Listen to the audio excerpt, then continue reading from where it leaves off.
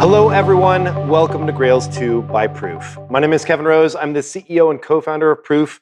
Joining me is Grails curator Eli Scheinman. Eli, welcome. Yeah, thanks, Kevin. Really excited for today. Dude, so great to have you, man. You spent so much work building this out, gathering these artists, herding the cats. yeah. There's, there's a lot to. Yeah, it's super fun to get to this day, and, and this reveal, this whole show is going to be really fun. Yeah, absolutely. And of course, I'm also joined by Collector, 100 Proof co host, and Collab Currency managing partner, Derek Edwards. Derek, so great to have you. Kevin, Eli, I am stoked to be here. This is going to be a trip. I can't wait to go on it with you guys. Uh, a testament to all the hard work you've done and all the amazing work that's going to be shown today. So, very excited to be a part of it. Thanks for letting me join along. Yeah, well, it's great to have you because you wear so many different hats. Like you invest in a lot of great Web3 projects, uh, but you're also just a stellar collector. And I know you own a lot of the people we're going to be chatting to about today. I do own some of the work. So, yeah, excited to, to piece it all together and, and go through it with the group. Yeah, let's do it.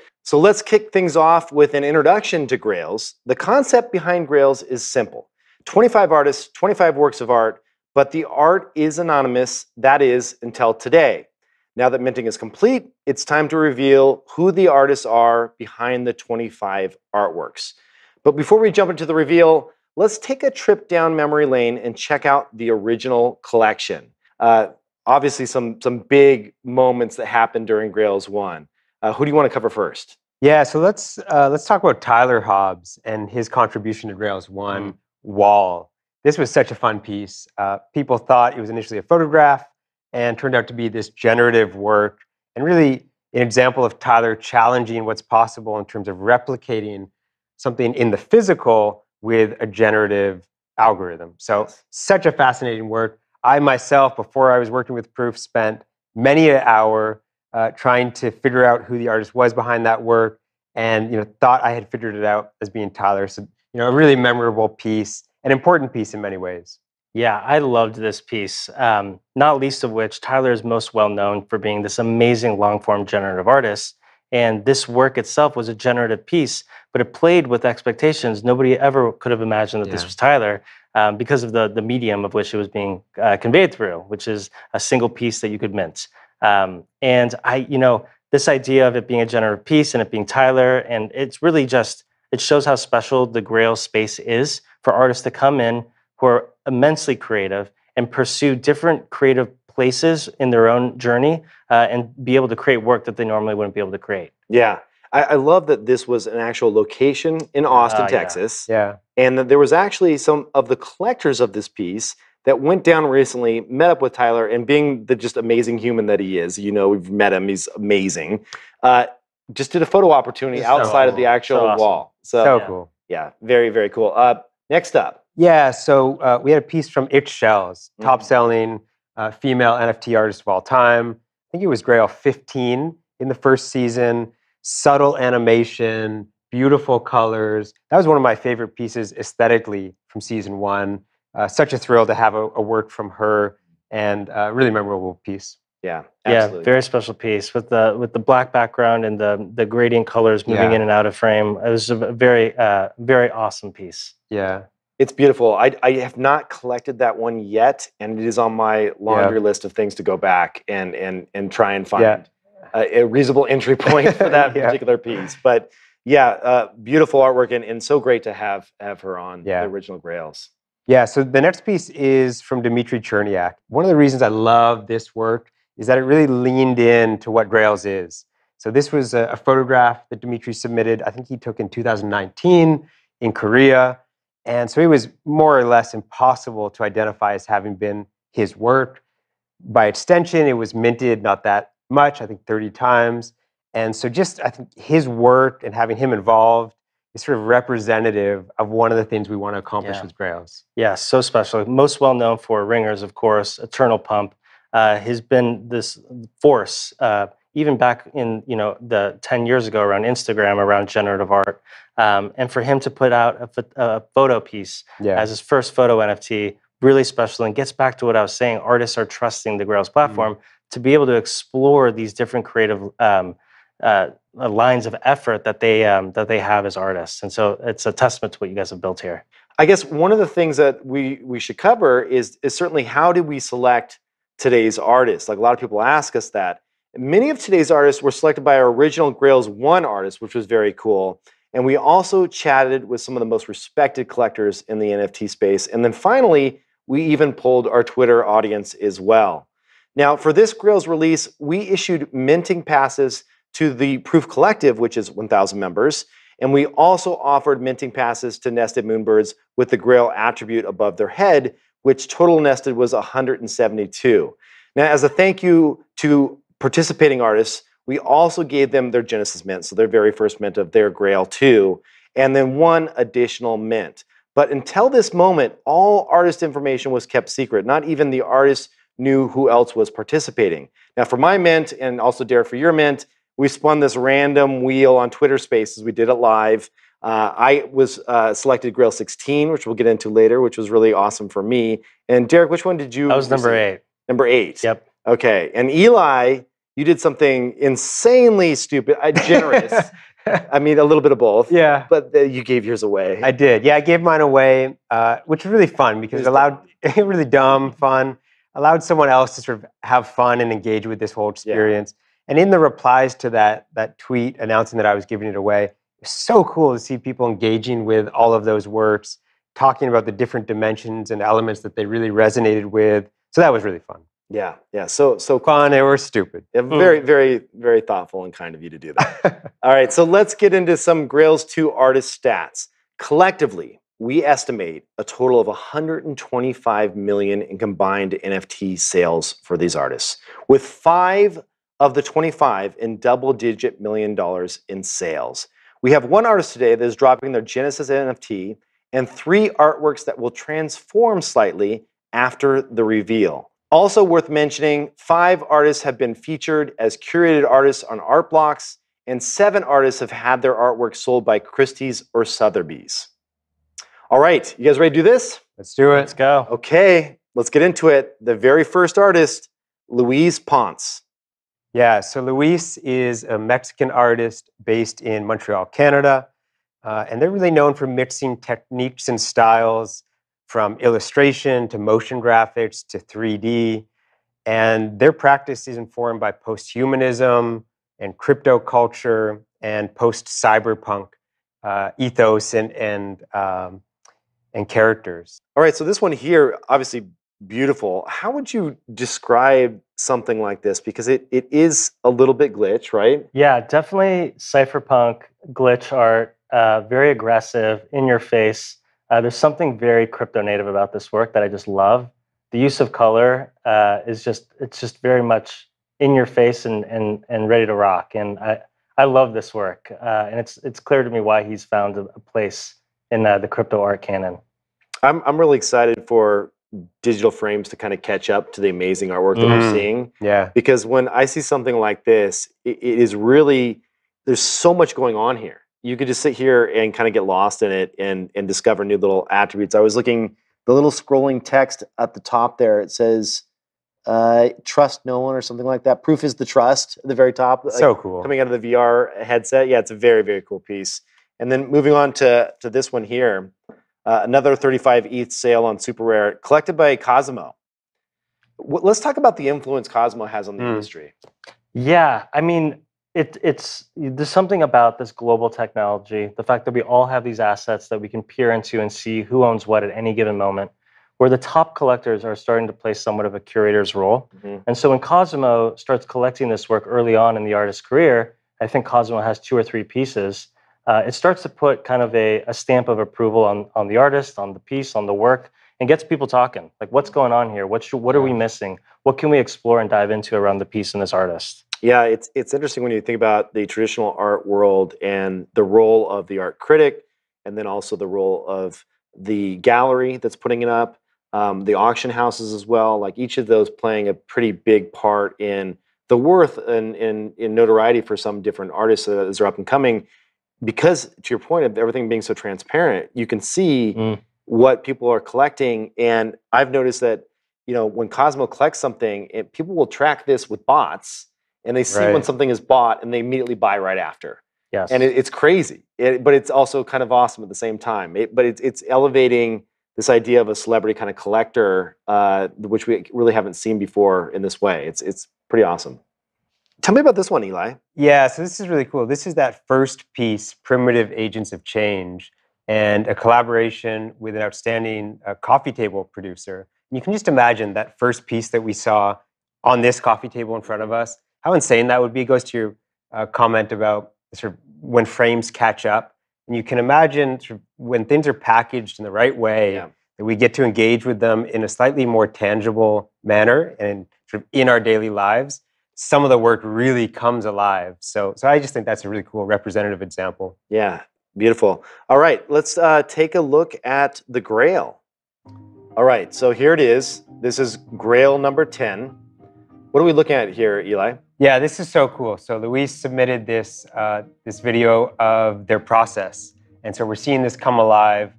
It's just incredible to see all the tiny details, the animation, and the way that starts sort of with these primary components, and then you'll see in a moment that the background starts to fill in. Just totally outstanding. It's very cool. I just every time I see the creation process like this, I, in my head I'm like, why don't I have that skill set? Like it's so epic to watch because I, I, used to play around with 3D uh, apps back in the day, but this is just next level, obviously. Look at that. Yeah, and there it is. And that little face hidden in the background there is so good. Yeah, and then the little guy here on the right, so so cool. Yeah, I mean, this is definitely one where when I see it hit, it's uh, as a collector, it speaks to me. So I, I, certainly want to go on the secondary market now that I'm able to and try and pick one of these yeah. up. All right, so let's take a look at it. Here it is, Grail number 10. Luis Ponce, congratulations to whoever minted this. It yes. is it is just stunning. This Beautiful. yeah, definitely one I'm going to try and pick up in the secondary market. Um, the title is Ambivalence. Uh, description is oscillating between extremes. And we'll have even a, a more detailed description up on the, yes. the website and on the NFT itself. So beautiful. Very cool. So thank you, Luis, for being a part of this very special piece. All right, let's move on. Osinachi, Okay, so Osinachi is a 30 year old artist from Lagos, Nigeria. He's really known as one of the sort of both first and foremost crypto artists from Africa. So, super thrilled to have him involved in, in Grails this time around. His work interrogates his personal experiences through his technological background and his really deep embeddedness in that world. Uh, he's been shown at Christie's in their post war and contemporary art auction and his works have uh, combined $6 million or more uh, on, on Super Rare. So very cool. Totally beautiful work. Absolutely. Look at the little one thing you might may not notice by looking at this at first glance is it's actually animated. The little clock there, uh, the chess clock down in the corner is the only thing that's animated there. Yeah, super subtle. And he has a really you know distinct style in many ways, but also is able to play with different colored uh, and different themes uh, in such an interesting way. Yeah, here's one titled "The Future Is Female." 22 ETH. I mean, just absolutely gorgeous stuff. I, I love the animation there. It, it's so cool. Yeah, and let's take a look at it then. This is Grail number 21 in the air. I love this. Such a cool piece. I mean, the jacket uh, and the pattern there, and then the subtle animation behind. Yeah, it says here the description gas masks were extensively used during the First and Second World Wars. Although it's rarely talked about, Africans played a huge role in both wars, which means they must have been handed gas masks at some point to go out into the war front and face the enemies. Yet a cursory search on the internet shows that there is hardly any image of an African wearing a gas mask in these wars. Why? Very cool. I, I think there's something so interesting about Osinachi uh, you you know uh, you know it's an Osinachi when you look at the piece. Uh, there's definitely the elements of the characters uh, that he portrays in his work that are very prevalent stylistically through all the works uh, that Osinachi creates. Uh, but there's always something a bit haunting in the background, or question, or some deliberate focus on on a moment in time or a moment in history that leaves the the audience or the viewer asking asking more about the work. Mm-hmm. And this one is no exception.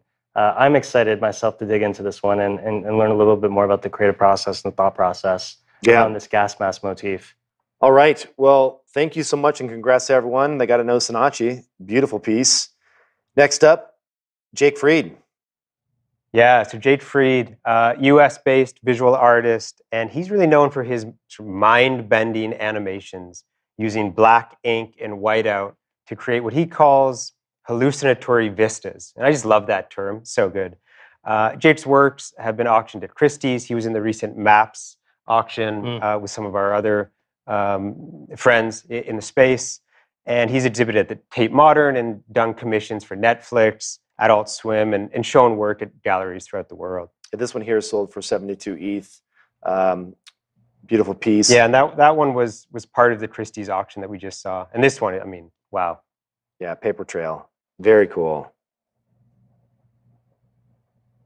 Fantastic. Yeah, really, I mean, the detail work here is just outstanding. And we cut together a little video for the reveal. Um, let's take a look at it. So I began my career as a painter, and through the course of reworking my images and paintings over and over again, I realized that I'm more interested in the way an image evolves over time than any final painting. And this led me to animation, where I would redraw and repaint the same image over and over again, recording it as I go, to create these really unique and elaborate and dense personal experimental films. So in the same way that a traditional painter might have a sketchbook to take reference drawings or to think about different compositions for their artwork when they're away from the studio, I do this with flipbooks.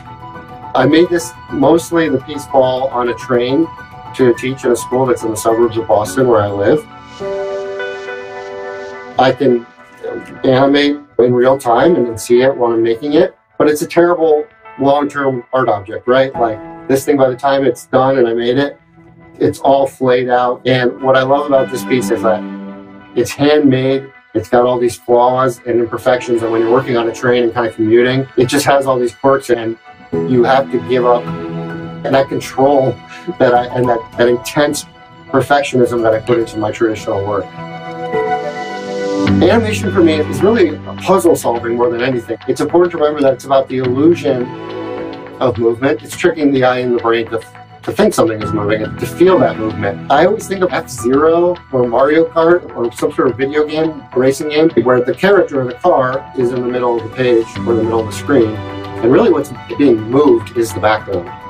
To me, ultimately, this piece is really just a meditation on the illusion of movement, what animation is, and how a seamless loop can be more than just a repeating motion. It's about always moving forward, right? This piece never is never going to end. It's never going to stop. It's always pushing forward. Just we are always pushing forward and trying to move forward in the space and in life. It might actually inspire you or give you energy.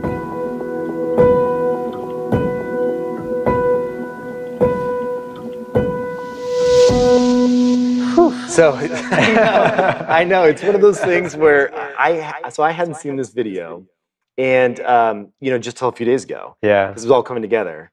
And and Mao, our, our video and all things audio like superstar, was like, hey, I cut this together. Take a look. Yeah. And I hit play, and I saw this, and I was like, well, now I need to own that. Like I need to collect that. That's awesome. And then I spun that wheel, and this was the one I ended up with. Yeah. Amazing. So it's very cool. Yeah, I love seeing the process. Hearing Jake talk about this work in particular. Uh, congratulations, Kevin, Yes. and others for minting this piece. Yes, absolutely. The title is Ball, and it was hand drawn animation with ink on paper. Very cool. So this was only 17 mints.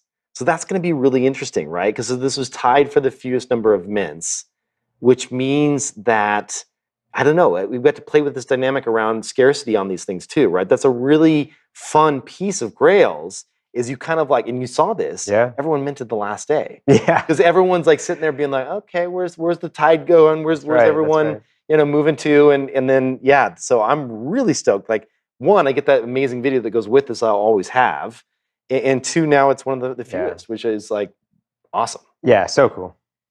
Very cool. All right, let's move on. Thank you, Jake. Very excited to collect my first piece of yours. So that is awesome. Um, this artist Neurocolor, I've actually collected before. Right, yeah. Someone I bought personally off of Super Rare about a year ago. So I'm really thrilled to have Neurocolor uh, join us here. And I'll actually be, uh, going to one of their mints out there uh, in Mexico City, which you'll be at as well. I will be there, and Yeah, I'm, it's I'm very Bright Moments. excited to to meet Neurocolor and and learn a little bit more about their process and their work. Yeah. Look at this stuff. Once, once Incredible. You, once you get into Neurocolor, it's, yeah, it's it's like very very cool stuff. This type of work was really meant to be put up big on display on a screen. Mm. And as the proliferation of screens continues to get better and more uh, more apparent, and with more options, we're going to start seeing works like this everywhere. I think Neurocolor, God, this is just meant to be blown up very big, Yeah. put up somewhere that everyone can enjoy, um, but so rich uh, and so. Um, I guess like uh, there's something very crypto native about work like Mhm. this that just really speaks to me. Mhm. Um, I'm I'm excited for for this for this grail. Yeah, it's it's cool to like look at this, and it- whenever I see a neurocolor, I, I almost feel like I'm transported to like an alien world. Like that top bit right there, what we're looking at right now, like that could easily be like some type of alien scanner that's like looking over the surface of something. Like it's like very yeah, like yeah. I get a little hint of sci-fi, like like you know, or Predator or something. Right. rotating skulls, like and like heat mapped skulls and stuff like that. It's it's really really cool. And of course, I love little Japanese hints, and little touches in there. You know, Mm. it's pretty awesome. Look at this one though. Yeah. I mean, you know, of all of these works, I think this one maybe alludes to their grail the most. hmm Uh, but I mean, the animation here, again, to your point, Derek, sort of the crypto nativeness of this work and, and sort- some of that that glitch that's happening there. Uh, you know, such an interesting piece. such a master of color too. I mean, just the even the diversity of of the palette across these Yeah. different uh, the um, formats and these different quadrants and, and stages is so interesting to look at. You kind of have to be if you're going to call yourself neurocolor. Yes, Right. It's true. Pretty good at that. All right, so let's take a look. Grail number 23. There it is. I thought this was hot. This is Yeah. God, this is such a cool piece. It almost feels like there's some liquid nature to this, like Mm. something very organic. Um, almost like you're inside of the sea watching the reef, uh, or, or you Mm. know, something organic in the sea moving very elegantly. Uh, yet such uh, tonality around cryptoness and crypto nativeness. It's such a powerful piece. I really like this one. Yeah, the title is uh, Retinal Plugin Description Neural Pattern Formation Cloud Update in Progress. I love that. I love Yeah. the description Yeah. alone. In Yeah. progress. So good. All right, moving on. Grant Riven Yun. Okay, so Grant is originally from San Jose, California, now based in Milwaukee. And you know, his work is quite distinct because he really leans into these uh, these themes around minimalism and uh, landscapes and architecture and interior design. This piece here, um, so so interesting. Again, really restrained Yeah. uh, and, and minimal, uh, but also really impactful. This is called The Alien. Sold for 137 ETH. Now, one you know really interesting thing about Grant is all of his work is CC zero.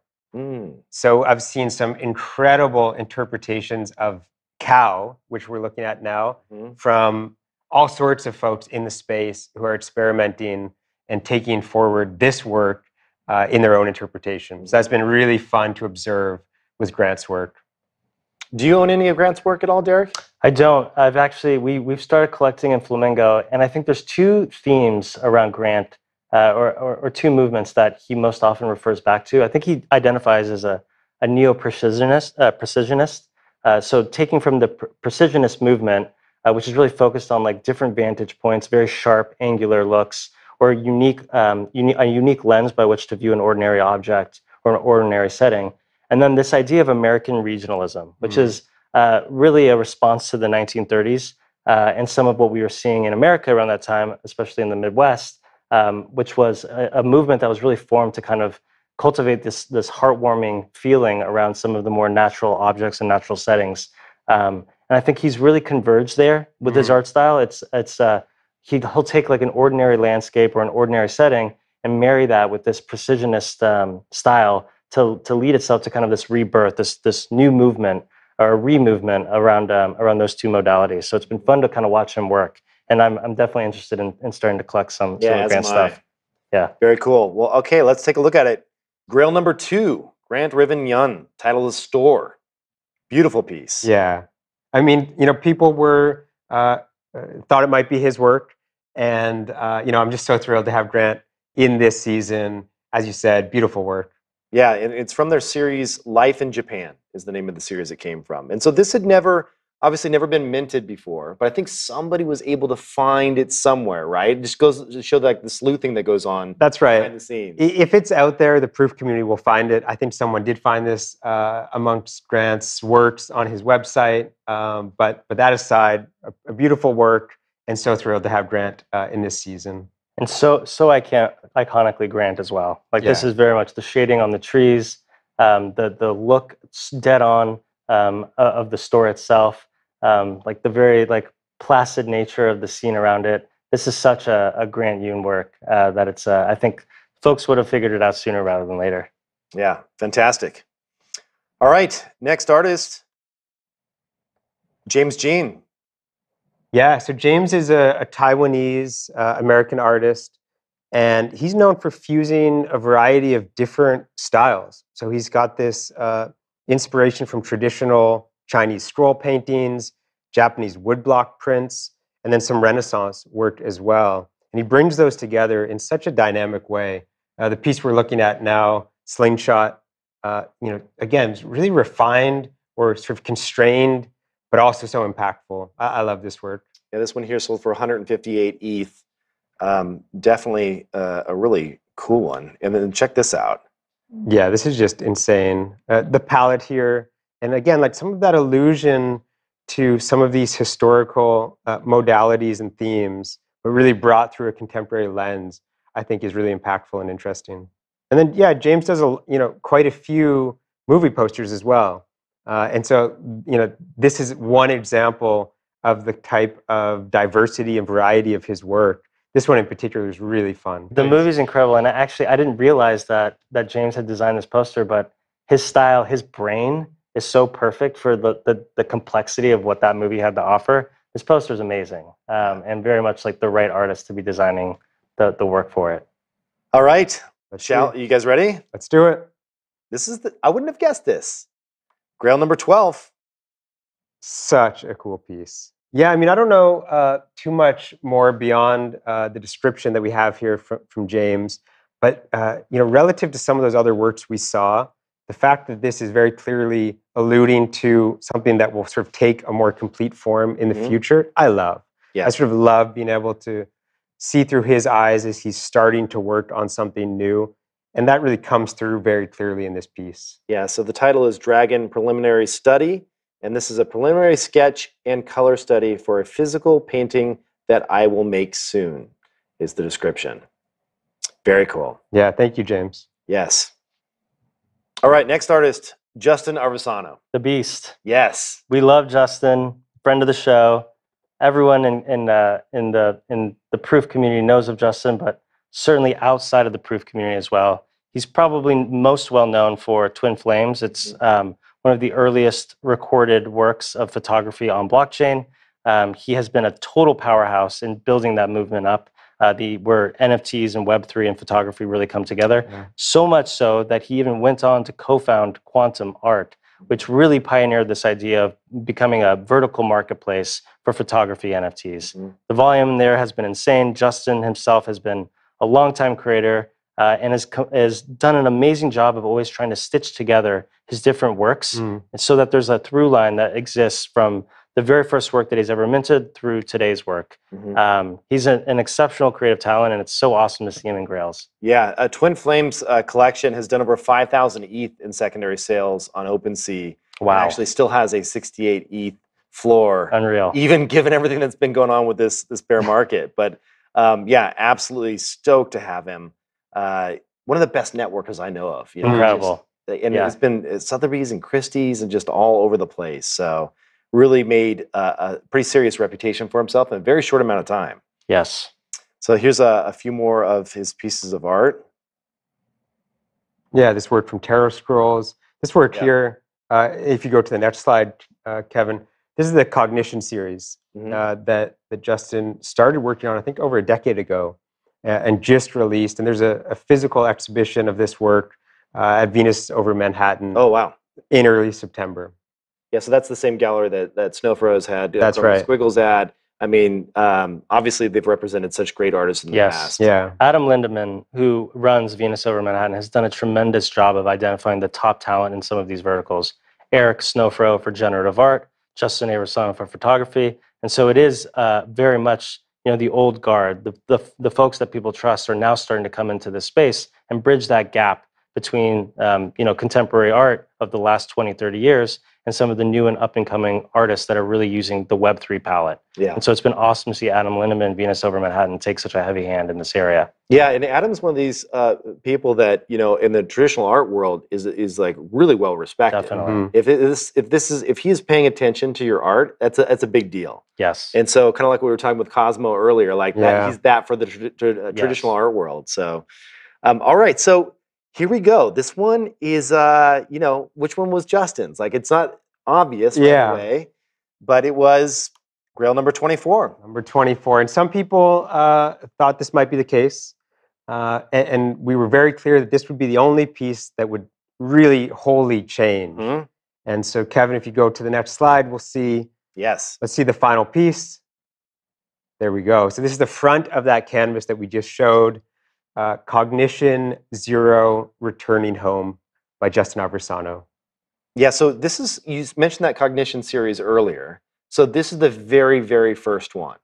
That's right. Well, it's sort of the first, but it's also its own its own thing. It's Uh, like the artist copy, right? Is it? Would you say? Or Well, it's a little bit different in that uh, there were 365 of these physical canvases, right? Mhm. And one of those was stolen from Justin's car when he was in Detroit. No way. No and way. so this work in particular, he made for Grails as a way, as he says, to sort of regain his power. Hmm. And so this work is, uh, it lives outside of the other collection and was made wholly for, for this uh, Grail season uh, and now has that moniker of being cognition number zero. That's very cool. Oh, that's awesome. I hadn't realized that. So 364, part of the cognition series.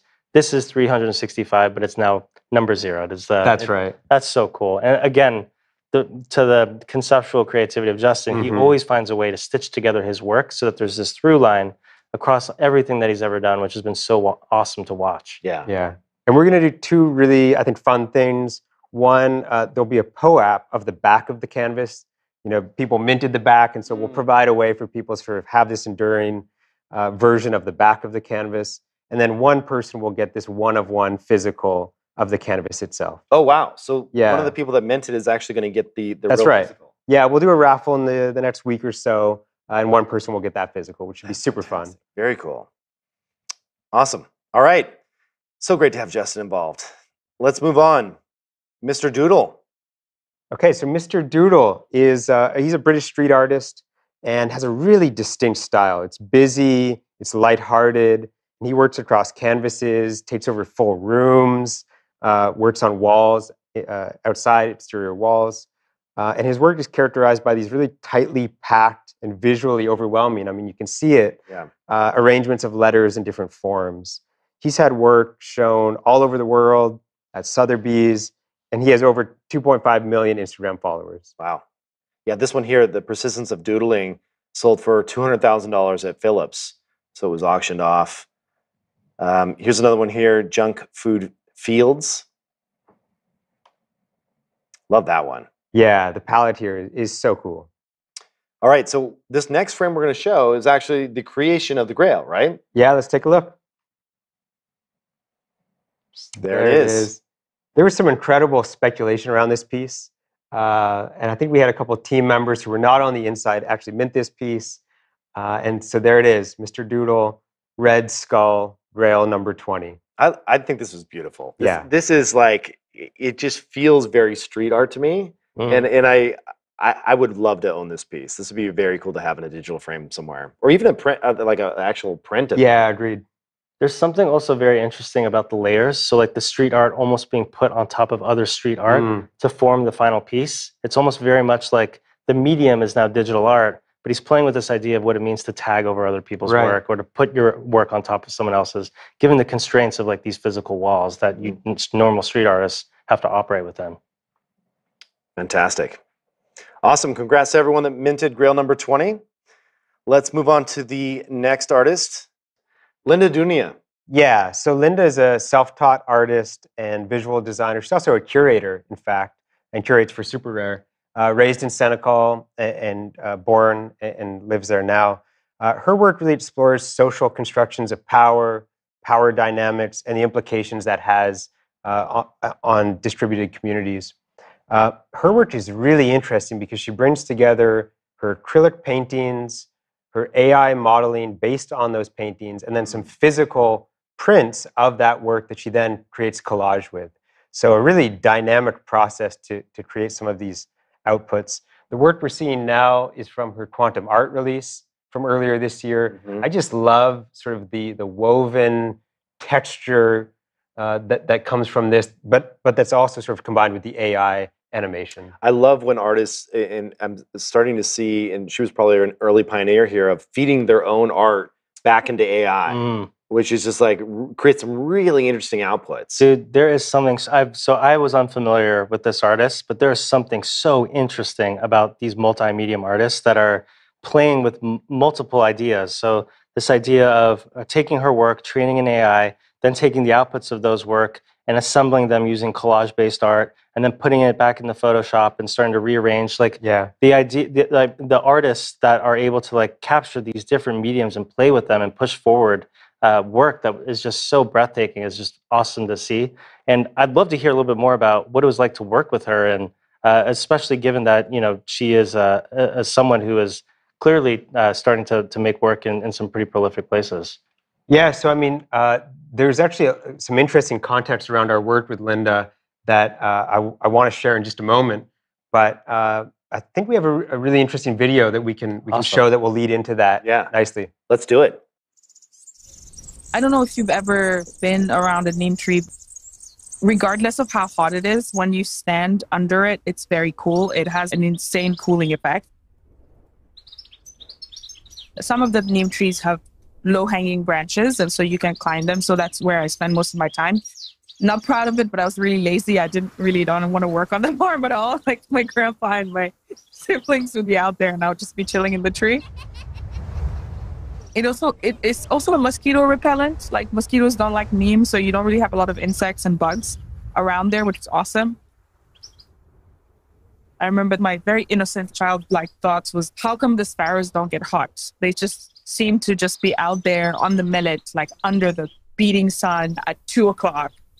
Don't they get hot? That's what the title comes from. Just watching them dance in sweltering heat. That's why I call the Peace sparrows do not fear the sun.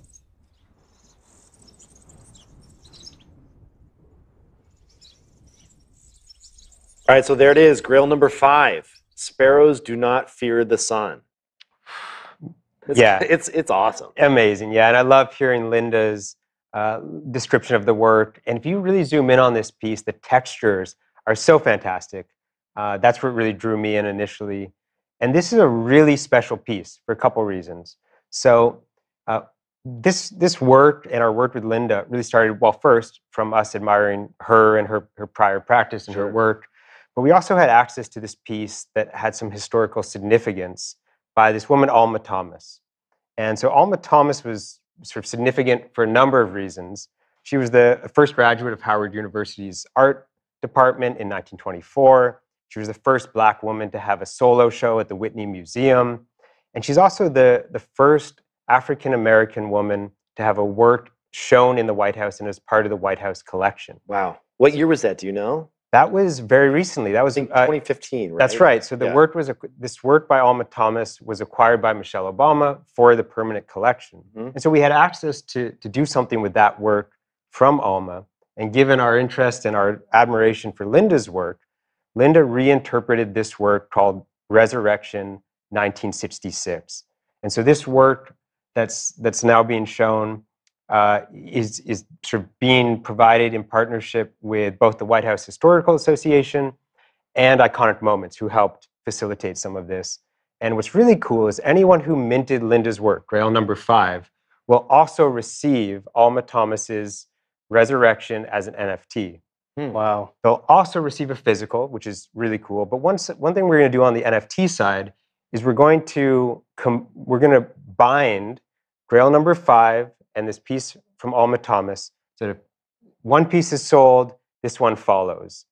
And this is new. I've never heard of this before. Like this like idea of binding these two NFTs together. Right. It's a relatively new. I'm not sure what token standard that falls under, but what you're saying is that if this is ever sold, the other NFT automatically goes with it. That's right. Yeah. So, so this piece in and of itself can't be sold on its own, but a holder of Grail number five will always inherently hold this one as well. They will move together, which is really cool. Really cool. So let me. I'm curious. Let me unpack a little bit of that. How did the White House get involved?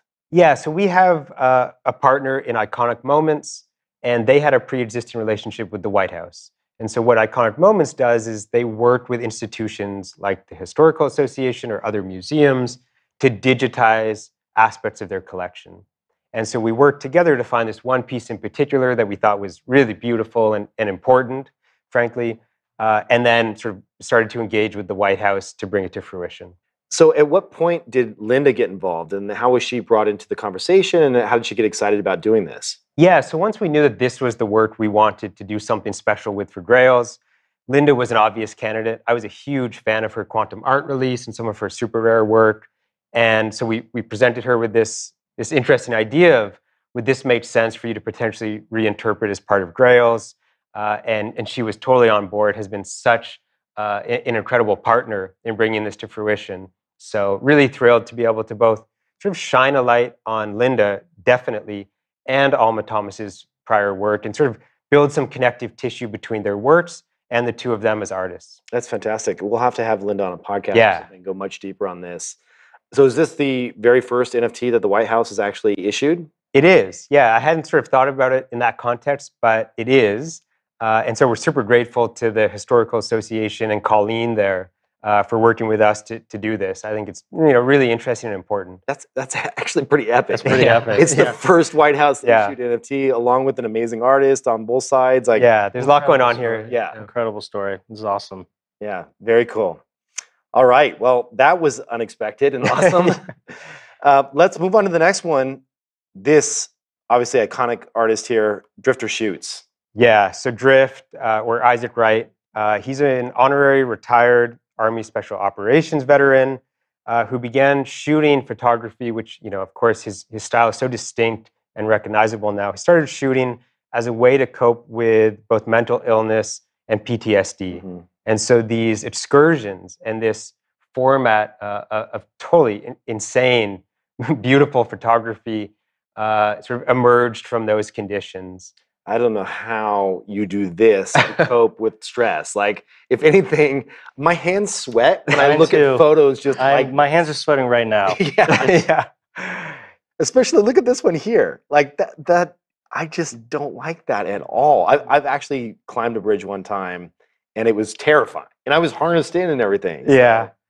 There's something so interesting about this work, and, and he's most well known for the Where My Vans Go collection. Yes. I think the floor is something between 50 or 60 ETH at this point. Um, and really, they're just shots, a top down of his vans that he's wearing, dangling over these skyscrapers or these incredibly tall structures. Um, uh, he's he's uh, you know provocative. He's in your face. He's rule breaking. He was incarcerated in 2020. I think was uh, in jail for about a year or so Mhm. before he came out and started making work again. He's got an amazing story and um, definitely one of the the up and coming photographers that the the crypto scene has certainly started to converge around. So Yeah. it's been Yeah. awesome to watch Drift work. And and so when he goes out to to actually take these shots, he's pretty much breaking the law every single time, right? Like this is not stuff that's officially sanctioned that that he's allowed to do. Is that right, or do we not know? That's my understanding. I think um, you know there. I, oftentimes these structures don't want to take the liability of just Right. letting someone Mm. come up there, and Mm. so I would also say from an artistic perspective, he just—I—I get the sense that the work wouldn't be the same Right. if there Mm. wasn't some element to it that was provocative and pushing boundaries. Yeah, you mean he Um, might die? Basically, is what it comes down. I mean, that's what's that's what is True, He's true. tempting fate right here. Um, you know? But I think that that adds to the the gravitas of him and the work, and why I think all of us are just looking at this, palm sweating, so interested in, in where his vans are going to go next. Yeah, awesome stuff. Thrilled that he is uh, partaking and is, is actually doing a grail with us, and he is grail number 13. There it is. Do you have any background, any more information on this shot, or is he cryptic? Yeah, so Drift's been been quite cryptic about this piece in particular. I think some people uh, were able to find it. You know, again, not not too surprising given the proof folks and the type of research they do. Mhm. Uh, but you know, such an evocative piece and, and very different in many ways to where my Vans go or some of his other work, but still, again, provocative and impactful in a different way. hmm Absolutely. I, I just love this piece. It's beautiful. Grail 13. I, I, I got to pick up one of the Where My Vans Go. They're so expensive now, though. But it's like, do you have one or no? I don't have one. Does Flamingo have one? Do you know? Flamingo does not have one. We have been uh, following Drift for a while, and uh, at- at some point, I think we're, we'll be collecting. Yeah, But- but- absolutely. But, Drift is definitely a talent, and he has clearly captured the attention of the space. Yeah, it's it's a beautiful Grail. So congrats to everyone that minted Grail number thirteen. And and Drift, thank you so much for for sharing your adventure with us. Yeah. Fantastic stuff. All right, moving on. Nadia Tolokonnikova, also known as Nadia from Pussy Riot. Yeah. So Nadia, uh, as you mentioned, from Pussy Riot, uh, a conceptual performance artist. I know you've had her on the podcast, Kevin. Mhm. Um, and her practice really touches on these these topics of freedom and authoritarianism, patriarchy, both utopianism and dystopianism, and those different versions of, of our futures.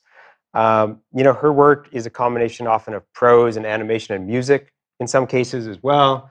Um, and, and, you know, just sort of such uh, important and deeply entrenched uh, work in her history, which is so cool. I mean, just a modern day, like insane feminist slash activist, like Definitely. locked up by Putin for multiple years. Like, no joke. Like, Yeah, yeah. that's as hardcore as it gets, right? Like, that's that's amazing. Pussy Riot was named Women of the Year by Time in 2012. Um, she has a prolific active, activist career, uh, continues to um, wave that banner even in Web3 as she entered.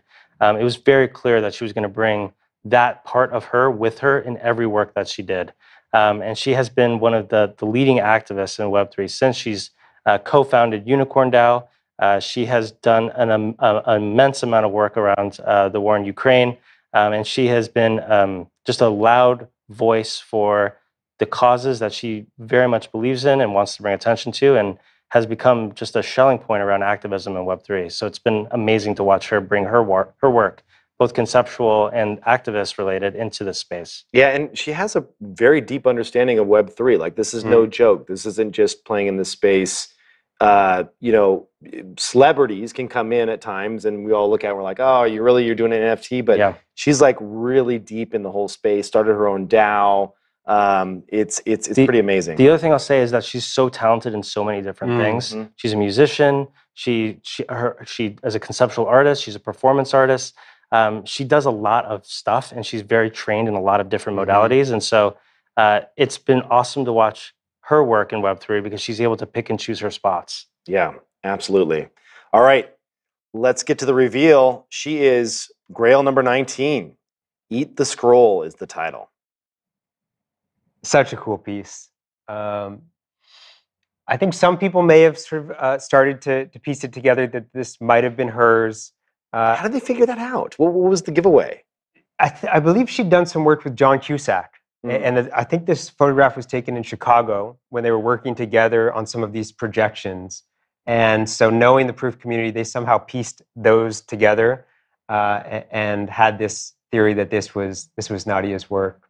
Yeah, so uh, the description is the artwork reflects on some questionable elements in biblical writings on which a number of known right wing politicians still base their misogynistic and homophobic lawmaking practices.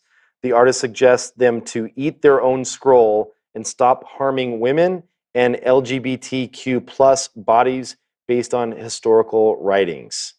Created by Pussy Riot in Chicago in the spring of 2017 and was a reaction to Donald Trump becoming a president. And this would be her first photography NFT. Yeah, very cool. Fantastic. Well, congrats to all Grail 19 collectors. Next up, Harm van den Dorpel. Yeah, so Harm is a Berlin based conceptual artist. Uh, he's shown work all around the world, and his work really uh, focuses on these emergent aesthetics ar- around software and language and Mhm. how those two sort of fit together in interesting ways. And he pulls from really diverse fields from genetics on the one hand to sort of blockchain on the other and what that means and how, how those two might intersect. He's shown work in Tokyo, London, Paris, Seoul, Hong Kong, Berlin, uh, across the board. And his project that we're looking at now, uh, Mutant Garden Seeder, has done over $6 million in secondary sales. Yeah, I remember this one hit my radar maybe eight months ago or something like that, maybe a year ago. Yeah. Yeah, very, very cool stuff. Here's some more of his work here. Yeah. I mean, he has such a diverse ability and, and collection. I mean, this work does not immediately look like that first slide in that first Mm. collection that we saw, really disparate in many ways. And so I, I love artists that can really explore their practice in such a wide spectrum. Totally. This is beautiful right here. Right. That You wouldn't think this is code. It looks like someone just like took a little bit of a sketch, you know, and just kind of like sketched out real quick with, you know, That's right. it's it's absolutely stunning. And I wanted to include this one in, in, in the prior slide because it does allude to which Grail uh, he contributed. And, and Harm was, was a really excellent and fun con- collaborator and contributor here. We went back and forth quite a bit and had a really fun time trying to find a Grail that wouldn't be immediately recognizable as, as his work. Yeah. Such a well-known style. I can see how that it's challenging with some of these artists, right? Because they give you something you're like, okay, you're absolutely going to play your hand immediately because you'll know who that is. That's right. And you know, we give the artist total freedom to explore the mechanic and try something totally novel or pull something from their archives and unearth something. But of course, sort of with that freedom, you can also submit something that might be more easily recognizable. Yeah. So for this one, we actually have a video to go along with it. Yeah. All right, let's take a look. Hey, hello everybody. This is Harm van den Dorpel. It's a great honor to be included in this Grails 2 drop. Uh, I participate with the work Breezy Doozy. Um, it's a composite drawing. That means it's a drawing that is made from multiple found drawings and some drawings that I made myself. I, I made that in 2011 based on some images that I found on DeviantArt, which I was studying then in a sort of anthropological way. What makes this work, I think, even more like different is that it responds to the settings of your computer. If it's in dark mode or in light mode, the image changes. Or when it's embedded somewhere um, on a marketplace, it might even render just as an original black on white drawing. What I can also announce is that all the minters of this NFT as part of the Grails 2 will also be added to the enable list for another NFT project of mine called Orb Light, which is a fully on-chain vector gen- generated um, animation where the SVG is actually outputted by the Solidity code. So that artwork will live on for as long as Ethereum exists. All right, so here it is, Grail number 15. Yeah. So there was a lot of speculation around this one. I didn't hear anyone uh, suggest harm. And so that's always really fun. Uh, but such an interesting piece. This was the only SVG amongst all the, the Grails. Yeah, so the description here is this work is a 2022 reimagining of a previously unreleased composite drawing I made in 2012. At the time, I was investigating the deviant art community as an outsider, somewhat as a visual anthropologist. The aesthetics that emerge from that community strike me as influential for many degen PFP NFT projects, but then without the financial component. The image is animated with a wavy SVG filter and it responds to your operating system's settings for light or dark mode appearance. Very cool. Yeah, very cool. And everyone who minted, well, first, congratulations to those who minted this work. I think it's really beautiful and, and, and interesting. Everyone who minted this piece will also be on Harm's allow list for his project Orb Light. Beautiful work. Uh, and again, a bit more referential to some of those early slides we saw of his work. Um, so, so a really fun benefit of having minted Grail number 15. Yeah. Love it. All right. Let's move on. Cash pour. Yeah. So, so Kevin, you have some history with Cashpore, and actually, sort of our community does in an interesting way that we'll talk about in just a moment. So, Cashpore is a project by Jess Machetti, And it really reflects back to some of the early artistic influences in her life. And this work in particular, and the work she's exploring here, are a reflection of growing up in New York City in the 80s and the sort of pop culture uh, influences of that time in the city uh, and sort of the way that that informed her comfort level in certain environments and her morals and sort of treating the city in some ways as a place of worship. Uh, so really thrilled to have Cashpore involved. And Cashpore, uh, sort of as I mentioned, Jess uh, is perhaps most well known at the moment as a tattoo artist. She's tattooed people like Bruce Willis, Susan Sarandon, uh, Chris Evans, and you and Justin. Yes, we did that at the uh, Moonbirds event. Here's her with Bruce right there. But she's just an, an amazing, amazing artist. Like, look at this this bird here that she did. Um, that is just fantastic with the cherry blossoms. I mean, really beautiful stuff. And this is her Genesis drop. That's right. So really well known in the NFT, or I'm sorry, in the tattoo community, but making her first move to NFTs. And you can see here's actually a collaboration that she did with Bulleit Bourbon during their tattoo series. Yeah.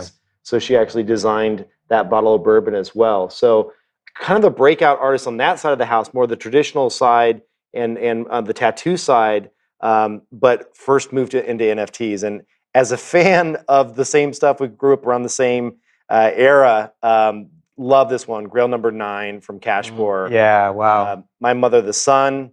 Uh, very, very cool. Created with Procreate and Pixel Studio. Um, she said that she, Cashpore, is a multimedia artist that was born in, has thrived in, and will die in New York City.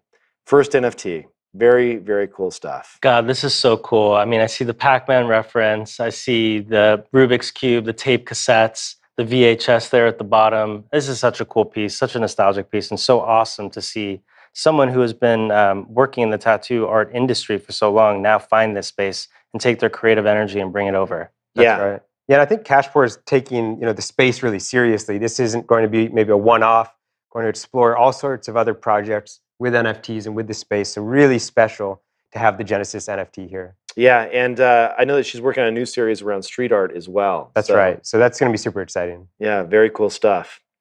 Awesome. Well, if you want to get a tattoo from her, you won't be able to get it, but you can definitely get her NFT because you have to wait many months to get, get on her list and get in, given her how popular she is. But yeah, Yeah. Grail number nine. Awesome. Thank you, Jess, for being a part of that. Um, Process Gray. So Process Gray is the artist behind Truth Labs. They have a couple projects: the Illuminati NFT, the 187, and most well known probably Goblin Town. Mhm. So really excited to have Process involved in Grails. Uh, you know, f- through his own words, Process describes his engagement with this space as seeking to cause mischief on the blockchain. I just love that. I think you can Mm. see it in most of his work, which is really, really fun. Uh, Goblin Town, of course, I mean, first, this is a beautiful work. Uh, it sort of shows off some of the dynamic work that he has and some of that uh, ability to, to really lean into incredibly detailed illustration, uh, as well as some of the more fun, irreverent Goblin Town work as well. Goblin Town was so creative on, on many different like in many different vectors there. The the website was beautifully, Yeah. really well done. And then everyone's like, who the hell is this? And then you go into their Twitter spaces and it's just a bunch of grunting like goblins. I was like, this is either either like a, so- someone really creative has to be behind all this. Like it's Yes. too Yeah. well thought through. And it just exploded. Like it's Yes. crazy. To understand process is really to also understand like what's going on in the space and why Goblin Town was a success. It really was a response to the NFT space, the Web3 space entering this bear market. And the meme at the time was we're entering Goblin Town. And for Goblin Town to launch, it was stealth launch, it was a, f- a free mint. Um, and for a community to rally around this very um, subversive, dynamic, interesting, weird thing was so crypto um, and so interesting. And like uh, Process Gray as an artist really captured that that um, that energy just through the design work that they were able to pull off. And so I think it's hard to evaluate process without uh, really understanding, you know, Goblin Town, which has been a you know a success on, uh, across the board. Yeah, and it's funny. Uh, you know, one of the things we ask the artists is to, of course, keep their participation secret. Mhm. And with process, given Goblin Town, not a problem. yeah. Mhm. yeah, absolutely. Because Yeah. you didn't know for a long time. Yeah, that's right. That's right. that. Yeah. So uh, really fun to work with process. Yeah, I'm very excited to have Process actually uh, on the podcast too in a few months because I know they have some new stuff around Goblin Town that we'll be talking about. so Amazing, very yeah. Cool. All right, well, let's roll. We have a video for this one as well. Yeah, I, I got to say that Process is someone when I look at all the works that we, especially this next slide we're about to show you in a second, they do just uh, they're they're they're so deep and so complex and so unique. You know, it's like so much skills packed in here. It's so cool. Yeah, look at some of the like the. Can you kind of see the the woman in the background there? That is the orange. There's like, so much sitting on- detail. yeah, there's a lot of stuff to like kind of go in here and and pick apart. Um, really fun one. Awesome. So congrats to everyone that minted Grail number three, and it's called the title is Fixer Upper. And then Eli, tell us about this this here. Yeah, so this is really fun. So anyone who minted Grail number three will also get one of these generative characters from Process. And so Process is doing this really small drop of 150 generative characters. And if you minted Grail number three, you'll get an airdrop of one of these guys, and there'll be a snapshot here coming up in a couple days. Okay, so I can still go on the secondary market and pick one of these up at the time this comes out. You can't, maybe Derek, you can. Why can't I? maybe you can. Yeah. Um, I want one of these little characters. They're Yeah. amazing. These are pretty badass. These I are got- really cool. I got to be honest. They're- These Look at are the aw- lower right. Is that like a female Howard the Duck? Remember that? Like, yeah. I think that's what it is. These are so fun, A- and, an you know, really, really cool benefit uh, for minting Grail number three. I love it. Well done. Well, thank you, Process, for being a part of this. Yeah. Very, very cool stuff. All right. Emily Xie. Yeah. So Emily is an outstanding generative artist uh, and engineer living in New York City. Uh, she's maybe most well known for her Art Blocks curated collection, Memories of Qilin. Uh, was also just in the Bright Moments uh, release in London with Offstrip. Yep. Uh, Derek, I know you're super familiar with Yep. both of those collections. Uh, a- and, she's shown work again all over the world.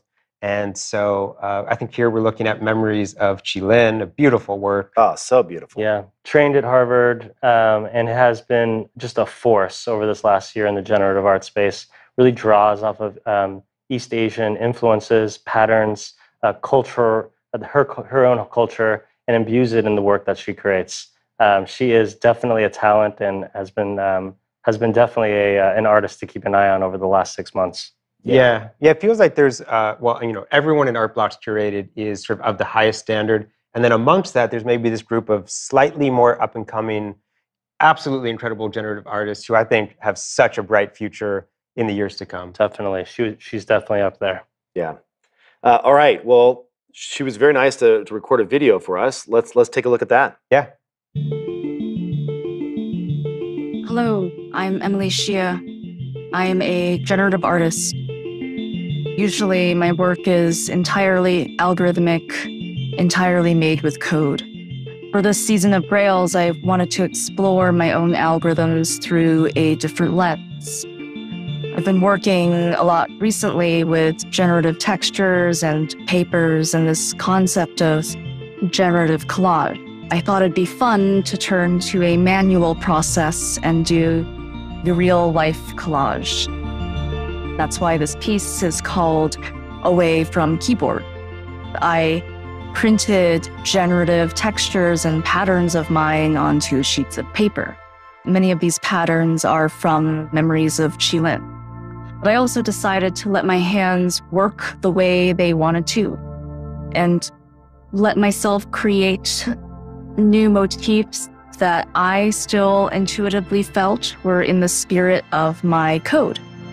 To touch them and cut into them and work with them in that way is a pretty fascinating experience for me. Blurring the lines between the algorithmic and the physical, manually reenacting my own algorithms and getting to know them in a more intimate sense. Here it is.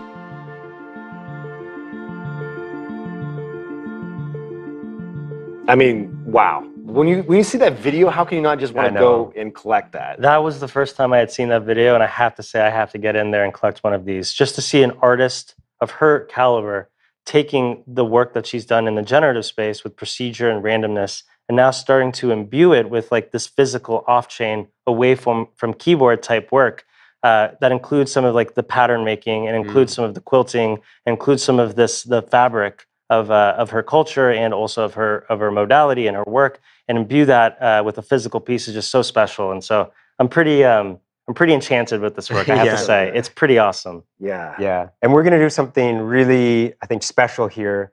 One person who minted Grail number 17 will actually get access to the physical work that Emily showed here at the very end. So So they have a chance to win the actual physical. that's right. So one person Oh, amongst man. those who have minted uh, or who are holding Derek uh, will get access to the physical. I'm gonna have to. So if I pick one up, then I can hold it, and they're gonna do a snapshot. yeah, we'll do the same thing. We'll do a snapshot and Until then. I have a chance at a shot at one of these. like, it, you must be pissed that you sold your pass or you give, you gifted your pass away. No, so cool. They- They're amazing. Yeah, I mean, I'm so thrilled. Uh, one to just have Emily in Yeah. Grails, to be able to collaborate with her on this, and then her generosity in, in providing the physical to one person who who minted Yeah. or who holds the work. These videos are killing me because every time you do one of these videos, Yeah. I want to collect the work. Right. Yeah. I mean, it, you know, it's such a good point around storytelling and the importance of that. Uh, and so when you see those videos, it just becomes that much harder Yes. not to go out and, and pick up that work. Yeah, so cool. Awesome. Well, Emily, thank you so much. Like it's uh, such an honor and a pleasure to have you on. Grail number 17. Congrats to everyone that minted it. Yeah, fantastic. Yeah. All right, next up, Alida Sun. Yeah. So, uh, Kevin? Yeah, I was just gonna say, Alida, like I, I guess I can jump in. This is someone that I had on the Proof podcast. Yeah. and I was just absolutely blown away by her in terms of just uh, her thoughtfulness and geekiness and Mm. just approach to art and the purity that's there Yeah. around the tools that she uses. Mm. Like it is just like it's it's what you want Yeah. in a type of artist like this that Yeah. is as a collector. Yeah. I mean, there's, a- there, she checks every box there, and so I've been a big fan of her work. The little unknown, little secret that we have is that she was in Last Grails, Mm. and um, we forgot to strip out the EXIF data, and it made it revealed who she was. Oh wow. And so we went in and pulled it down, and she said, "You know, I, I just I don't have time to like do another whole nother one because she's purist and wanted to make sure Mm. that she was playing the game and like properly hit it." And um, you know, so we we punted and said, "Okay, Yeah. next Grails, we'll talk to you then." And so I'm I'm thrilled to have her as part of this. Do you want to give a little bit more background there as well? Yeah, sure. So uh, Alida is an interdisciplinary artist, as you can see from from some of her work that, that we'll show here in just a moment. Really leans into this sort of post-industrial ethos uh, and design aesthetic. Uh, she's based in Berlin and New York, uh, and her current practice focuses on this assemblage of extended realities and experimental humanities. I just sort of love uh, those two dimensions of her work. She's maybe most well known for her Art Blocks curated project. Such fascinating uh, work that we're seeing now here, the animation, uh, Glitch Crystal Monsters. I am a collector of glitch crystal monsters. I actually have a funny story. So I think she was one of the first or second um, women identifying artists to launch on Art Blocks Curated. And when her piece came out, uh, I was actually on a road trip with my wife, and we had to pull over on the side of the road so I could mint two of these glitch crystal monsters. And so I have a fun story uh, that's just uh, paired with with her work. Exceptional talent, so creative, and from my understanding, um, is most well known for her work in real life. That's and right. Pairing it with this with digital technology. That's right. I mean, some of these interactive uh, and engaging installations that Alida does, uh, where she bridges these different worlds, so interesting. yes, definitely. Yeah, her installations are, are really fun to whenever time she posts like a new Instagram Yeah, or something. Yeah.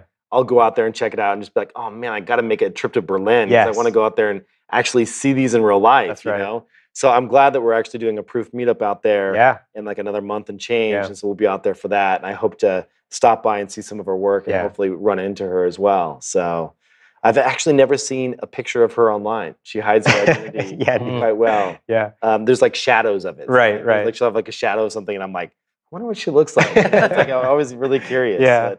But, um, very, very, very cool artist, uh, and excited to announce.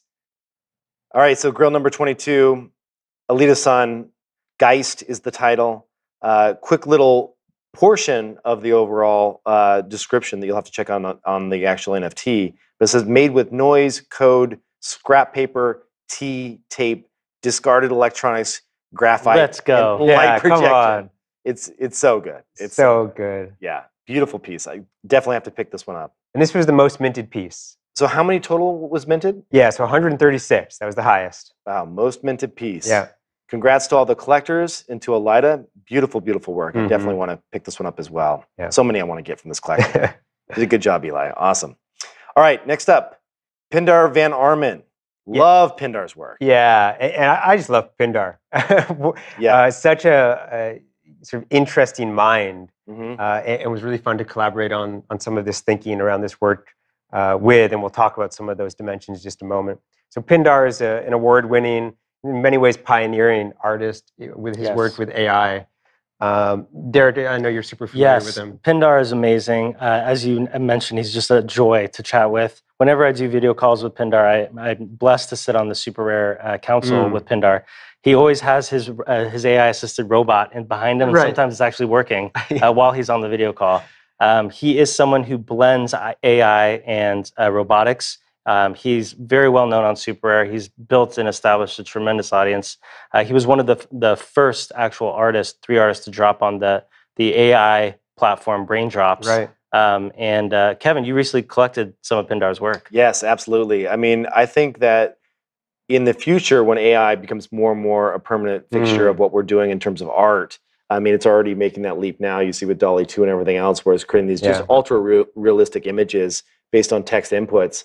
Uh, we'll look back and we'll say, Mm. who were the original innovators in the AI art space? And Pindar is Definitely certainly in the top three, right? Yes. And so when I think about who's doing that, this is someone I want to collect for the long term. This is someone I'm going to hold for decades to come. Yeah. And I mean, this piece right here, robot number two, owned by Cosmo. Again, Cosmo making an appearance. Mhm. Really good, very prescient uh, collector. Three hundred forty-two thousand dollars was paid for this one on Super Rare. Mhm. Um, you know, done a lot of great work with AI and nouns, which is actually I am a holder of. Yeah. Uh, bit nouns and just all the stuff Mhm. that that he's done here. So so cool. Yeah, the Bitgans, the Podgans, all really fun Yes. work. Um, beautiful work here uh, entitled Bonnie. Uh, love Pindar's work. Yes, and definitely check out the uh, the proof episode we did with Pindar. It was, it Mm. was quite good.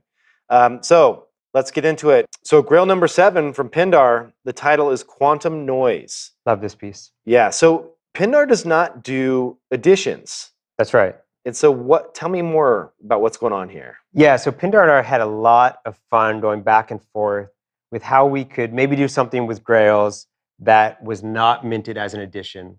But as we've talked about, and as you guys both know, the proof community, if it's something, they're going to find it. And so we explored the different ways we could use some of these quantum computing outputs to maybe make something that was imperceivable as being unique. Uh, but ultimately, decided to mint what uh, here is a common file, meaning everyone minted the same output. But what we're going to do is shortly after uh, this goes live, all of those will switch out No for kidding. one of these outputs that Pindar explored that in many ways are imperceivable as being different, but are functionally and really are one of one generative outputs. Very cool. So let's take a look here. You can see all of them on the screen. Yeah, I love this slide. This is so good. So basically, you're going to get, even though they look very similar, it actually is behind the scenes a unique one of one from Pindar. That's right. If you really dig in, you can you can see the differences uh, at the binary. But uh, you know, again, the challenge to him was really, can I make it imperceivable and viewed in this way? And th- those are all unique outputs. It's really it is. Wow. and so there was some tie into a quantum computer here as well, correct? That's right. Yeah, these were all produced in that way.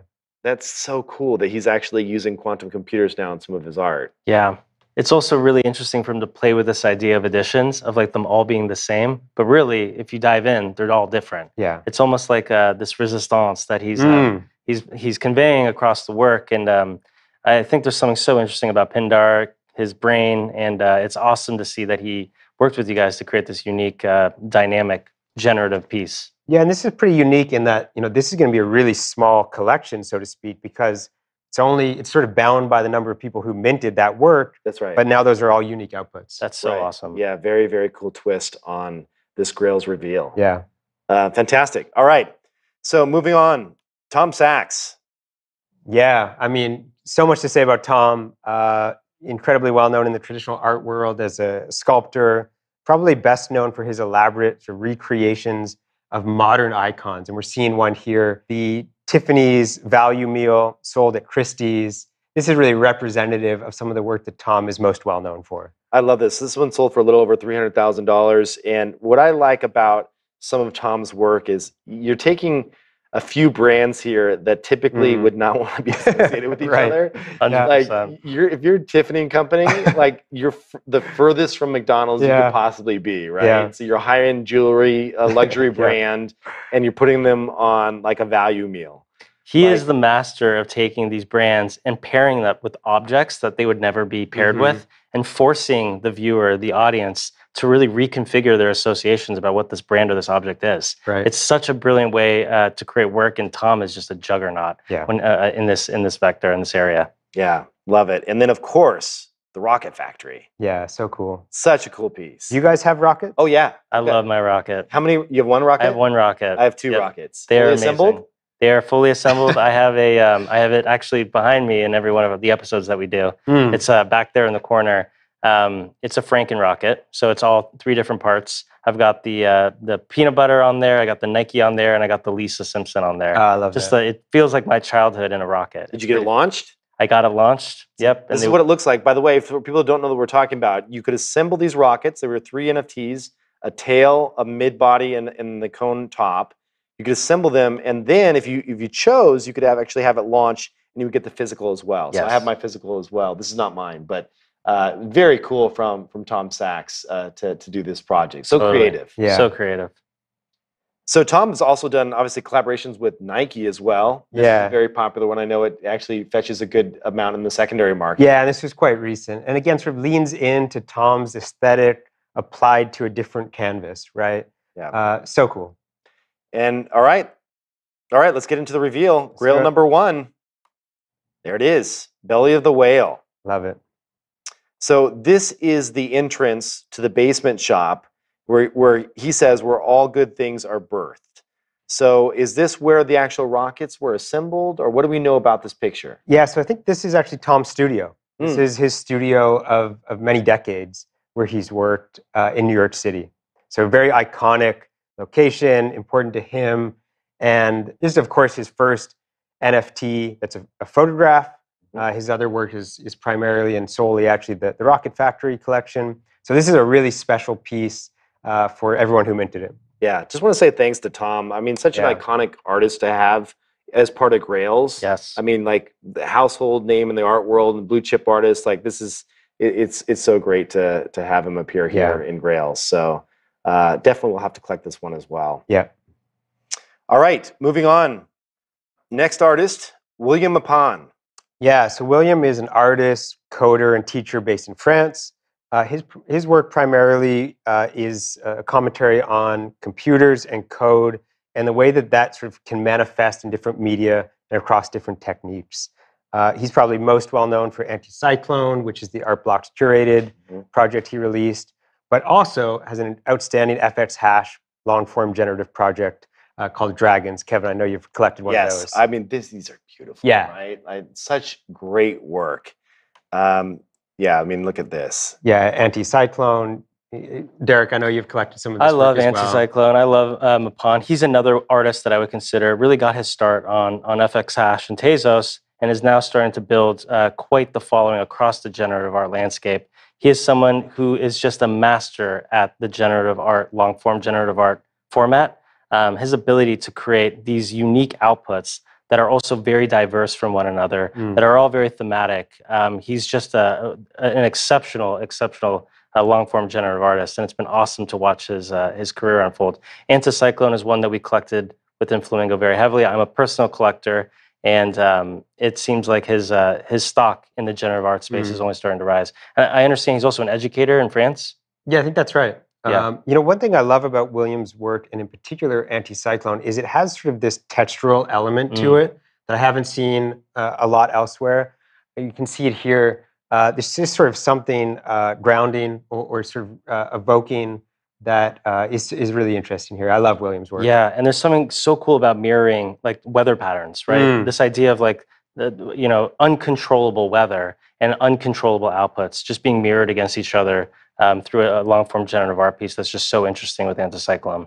Yeah, just beautiful stuff. Yeah. Uh, it, it's it's great to see. It looks like a pretty young artist. Do we know how old he is? I don't know how old William is, but but I think you're right. Like he's sort of in the sort of 20s to 30s. uh, range. So one of the, the younger artists. Yeah, and it's also great to see another black artist represented here on stage as Hundred well. percent. Yeah, fantastic. Yeah. All right. Let's do it. So Grail number 18, William Mapan, The Guardian. I love this work. Uh, this is the the first output for an upcoming long form generative project that William's working on. So a really special piece. And congratulations to everyone who minted this. Yeah, I think that's really uh, important to unpack there for a second. Like, this is going to be a much larger collection now, or like later. And so, owning this Grail means you're owning the very first kind of Genesis piece to that collection. Like, that's Mm. that's huge. That's awesome. That's right. Yeah, I mean, so you get a beautiful piece of art in and of itself. You get to collect a piece from William, but then to your point, Kevin, sort of has this other dimension, making it really important. Yeah, fantastic. This is certainly someone that when I think about the artists that I want to track, Yeah. that I want to pay close attention to and watch what they're doing, very short list of people fall into that camp. He is one of them for sure. Absolutely. Yep. All right, next up, Refik Anadol. Yeah. So Refik is he's a heavy hitter. I mean, Refik's work is distinct and has been shown all around the world in some incredible IRL settings. And his work in particular, it comes alive. And so when shown both digitally and in real life at galleries uh, and elsewhere, it feels alive. I mean, Uh, look at this. here, this is a perfect example. Just stunning. This is very cool. So cool. And Refik's worked with Microsoft, Google, um, Intel. He sort of is able to skirt across a bunch of these different domains and disciplines in such an interesting way. He's another of these incredible creative minds willing to sort of push the boundaries uh, and see what's possible here. What I love about Refik too, I had the uh, the pleasure of sitting next to him at a dinner recently, um, and his work is so um, so inspired by data and so inspired by um, unlocking things that are unseen currently with the naked eye. He wants to you know push boundaries as it relates to smell or taste or feel or or how we get immersed within art itself. I know some of his um, some of his collections have done tremendously well in Mhm. crypto. I know he counts Bill Gates as being one of his earliest collectors. Um, and he is actually working on a massive, massive project that's bridging the work he's doing in AI uh, with Web3 uh, with a project called Dataland, where, where the, the first location will actually be out here in Los Angeles. Mm. So that's a project to be tracking of Refik's. Mhm. Very cool. I, I love this. And I, I'm curious, do we know much about the creative process? If not, I got to get him on the podcast because I'm curious, like behind Yeah. the scenes, what tools go into actually pulling this off? Because it's, it's just beautiful. Yeah, and he's given me a quick tour of his studio through Zoom. They have all sorts of cool tools and 3D printers and massive screens. They're really doing some amazing things there. Yeah, it'd be fun to do a, a little video tour of Yeah. Definitely. Be great. All right, so by now you probably guessed Grail number eight. And Derek, this was your piece. This was my piece. I, I was so um, we we randomly minted ours, and so I was so blessed to have uh, been able to mint a Refik. I actually don't own any Refik's work, so I was super grateful to mint number eight. And what I'll say is, I love this piece because it plays with this idea of of um, organic matter and and this liveness with like Mm. very clearly this very hard uh, con- constricted boundary. It, it plays with the tension between um, human and computer and AI in, in this really interesting way. There's also this, I don't know if this was intentional, but there's this almost like a bar chart, a price bar chart at the very bottom, Mm. which kind of, uh, uh, for me at least, just illuminates some of what's happening in Web3 around price being associated with a lot of these outputs. Um, but the piece itself is just so striking. And another one, another work that I just need to see blown up. I need Yeah. to see this big. I need to see it immersed on a 40 foot wall in front of me. Yeah, I mean, well, you have that frame in your house, right? I Like, you can do. Put this on that frame. It's not 40 feet, but it is. Uh, Yeah. But it is big. Yeah. So I'm yeah, definitely projector would be killer for something like Yes. this. yeah. Yeah, beautiful stuff. Yeah, I love that piece. Yeah, this is another one where I would say, in terms of just glancing at all of them when I first had a look through of all the pieces once they hit the site, I was like, I, I didn't know most of the artists at that point because you kept them pretty Yeah, hidden. yeah. I knew who some of the names were, but Sure. obviously I can't connect the dots either because they're doing a good job hiding them. Yeah. And I looked at this one, I was like, damn, that's hot. That, That's that's like really good. Yeah. You know? Well, I love that this was the last submission too. This was the last one to go up on the website. Super impactful and beautiful piece. Yeah, great, great stuff. All right, Refik, thank you so much for for contributing to Grails and and congrats to everyone that collected it. Yeah. That was number eight. Next up, Alpha Centauri Kid. Yeah, so ACK, uh, incredible body of work. Uh, one of the higher selling super rare artists with their one of ones. Uh, incredible collector base from X Copy to 6529, uh, curated. And uh, it was really fun. You, uh, ACK and I had some back and forth on the work that they ultimately ended up submitting. And when we were talking about was there any type of bio they wanted me to uh, to describe themselves uh, through, the only thing I got was humble servant of the muse, which I absolutely love and is so poignant. Super cryptic, right? Like you don't get a whole lot there. And I love that. Yeah. I love that. That actually brings a lot to sort of my engagement. I think um, others' engagement with the work, and that comes through in many different facets As you can um, see here, I mean, he plays with this idea of like the meme culture around Web3. I think I just saw the ringer goose Yes. fly up out of the Right. pit. Uh, we've got the Rubik's cube there. He's very much on the nose with pop culture. There's this dark, there's like this darkness about ACK that I just Yeah. love. I know folks have really related him to Xcopy, and I know Xcopy is actually a collector of his. Um, but there's something so spooky and dark about ACK and his work, but yet so fun Yeah. and so so crypto native that I just love. Uh, I'm so excited to see who uh, what what what Grail he he created here because I'm shocked that he's even in this collection. Yeah, and, and this piece here, I think, sold for 165 ETH. So he's had some, you know, really massive sales on Super Rare. Yeah, absolutely. All right, let's do it. Let's take a look. He was Grail number 11. Ooh, Wow. Okay, so at first I thought this was you. No? Yeah, that was the joke. That was the running joke on Discord Right. that I was I would because my last name is Rose. Do a Rose is my first NT Mm. drop. I do not have this skill set to pull this off. No, beautiful work. Yeah. Yeah, absolutely beautiful stuff. And it's interesting because looking at it beforehand, I don't think you would say this No. is an ACK. no. But once you know, yes. you start to pick out some of those elements and some of those palettes that you say, okay, I see that. Mm. Yeah, I love this. I, I love that the name is "Made These for Your Girl." It's just, it's so- it's so ACK. Yeah. Just uh, in your face. Uh, just um, yeah, totally subversive, totally awesome, uh, very funny. Um, and yeah, I'm shocked that this is uh, this is the work that he he he's running with because I think it it's such a great juxtaposition to the, his other work that we know him by.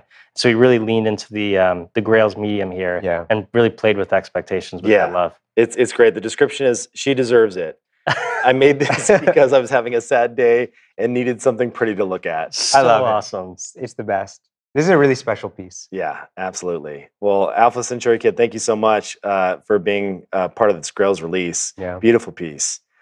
All right, next up, Zancan. Yeah, so so Michael Zancan is a generative artist from Bordeaux uh, in France, and he's been both sort of a painter and a programmer, sort of uh, playing in both of those worlds for over four decades. And his work is really distinct, and for me in particular, sort of, I really gravitate towards it because of those uh, those natural elements that I don't see often in generative work, uh, both in terms of the palette and the output itself, some of the foliage that, that comes through in his generative work, uh, really distinct and beautiful. Yeah, look at this stuff. I think Zancan's, uh, again, Yeah. one of these generative artists who is really someone that I want to collect and watch in the next couple He- years. He is a he's a total juggernaut right now. I think he may be the top selling artist of all time on Tezos. Um, his collections um, have have I think he's got three of the top selling collections of all time on FX Hash. Yeah. He is a generative artist that is just on, like on a rocket ship right now, and people just want to collect his work. Um, I would say he th- something he does so well is play with this idea of. I think he's inspired um, by like the pen plotter which Mhm. is like you can see um, a lot of the work that he's created has sort of like this plotted uh, feel where it's like hand drawn. Uh, there's also something very like uh, he plays with nature very well, Mm. and so there's there's something about this tension between computer art and rules Mm. and and nature and like using the, uh, um, you know a format that looks like hand drawn pencil pen Mhm. uh, described on on paper. Uh, that's just so elegant and so well done. Um, and he is a yeah he's a tremendous talent and, and has been someone that uh, I'm looking forward to collecting in the future. Yeah, and I've started collecting him in the last probably six months. Mm. Really drawn to his work. I think, you know, again, someone really to, to watch here in the next couple of years. Yeah, absolutely. All right. Well, for this one, we have a video. To make this NFT, I went back to my algorithm for trees, the exact one that I had been working on a year ago, and which is responsible for my Genesis piece, the oak tree, minted on Foundation. I was looking for a figuration in generative art back then, with the constraint that the art had to be plottable. It means that it has to be made of lines when you work with lines, you might need a hidden lines removal algorithm. It allows you to cut the lines that are behind the shape. I have such an algorithm. It's a custom one. It's deceptively simple and powerful. And it doesn't use any math actually. It's at the core of all of my works. And I kind of keep it secret for that reason. For the tree bark, I developed a pattern that is mapped onto the cylindrical volume of trunk and branches, and this is what you see here. But then, what if you turn off the hidden lines algorithm? The pattern of each branch will pile up and you will start to lose the idea of shapes and volume, which is exactly what the mind needs to figure out what it's looking at. Removing the idea of shapes and volume makes you drift from figuration to abstraction, for Grails, I needed an abstract piece in order to cover up my tracks. By looking at this work in progress, you can guess that you are looking at a tree, except that the parameters are set to absurd values. The diameter of branches is bigger than their length, and you get this gathering of tree logs, which are starting to look like lace or fabric. The number of layers is painful to watch. Usually when you make code for pen plotters, you try to optimize the plotting time as much as possible. I did the exact opposite here, which was absurd. And we ended up with a plotting time of 12 hours straight. The piece is called The Fabric of Trees, and it comes with this physical drawing, which is unique because, to be honest, I don't want to do it again, ever. Wow. So good. So that physical is going to be raffled off to, to one holder, right? That's right. As Zancan said, that's not something he wants to do again. So there's one of those physicals, and one person who minted this work will will ultimately get that. How many people minted this one? Yeah, 75 people. So one of those 75 uh, will get this incredible physical one of one that we just saw. And it, and if I heard correctly, it took 12 hours to plot that piece out. That's right. It, I mean, I can understand why he doesn't want to do that Yeah. again. Uh, so that makes the physical so special. Yeah. It, this is one of these artists where, you know, when you, you take a look at the body of work from an artist, and there's sometimes there's artists I'm attracted to where they almost can do no wrong, right? Mhm. Like XCOPY for me is one of those where I'm just like, okay, I love Yes. pretty much everything. I mean, there was a couple tank ones there that they did that, you know what I'm talking about, where I was like, ah, maybe that one's not for me. But everything else was amazing. But this is one of those artists where I look at Zancan's work and I'm just like, I want it all. Yeah, It yeah. is it is really that good. Yeah, All right, so that was Grail number 25. Zancan crushed it. amazing. So awesome. The fabric of trees. All right, moving on. Kjetil Golid. Yeah, this is a big one. So Kjetil is a generative artist uh, who blends sort of algorithm and data structures in a really interesting way. Uh, approaches most of their work from this question, which is, what would it look like if? I sort of love that framing of a way to engage with something new and something novel, to explore Mm. what could be. So I just sort of love that framing.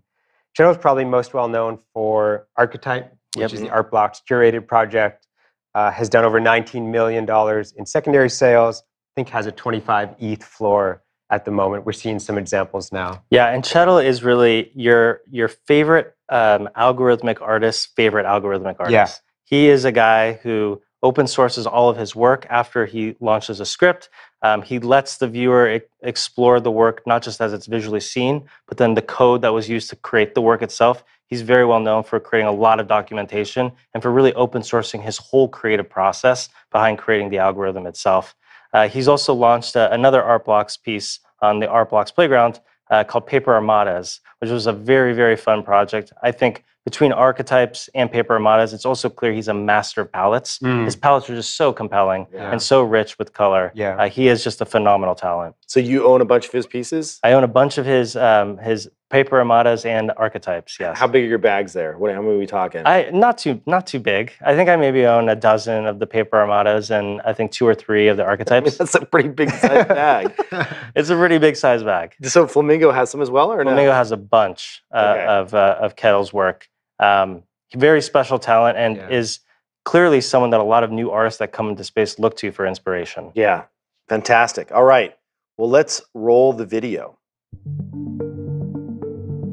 I love that we get these behind the scenes videos that show, you know, the process. So, what are we seeing right here? Yeah, so we're sort of seeing that final output starting to, to come to shape, right? And, and starting to form. And I'm not sure if it's quite clear yet, but this is starting to allude what the, to that final output that people minted. Uh, really interesting to see this in progress. Yeah, it's fascinating. It's like a little virus growing or something. It's crazy.